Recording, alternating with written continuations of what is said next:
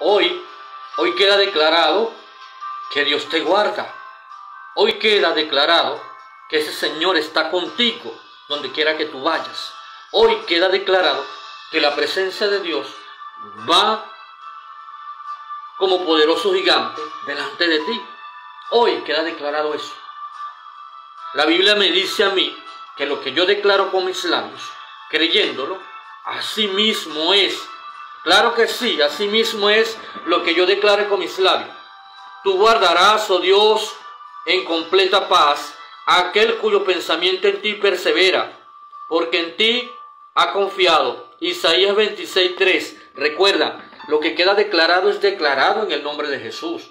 No es una cosa que es algo, una falacia, una mentira, no. Está hecho porque por el poder de su palabra, por el poder de la palabra de Dios, queda hecho, ejecutado en el nombre de Jesús.